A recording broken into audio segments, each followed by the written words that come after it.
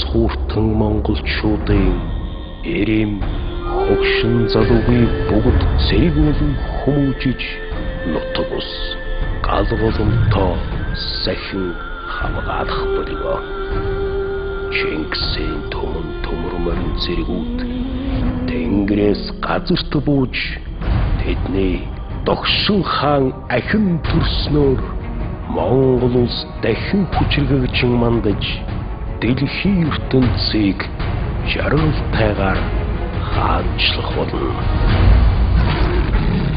Төмөн хишигтэн Төмөн хишигтэн Монголчууд бидний хиймэр багтлын бодичутай.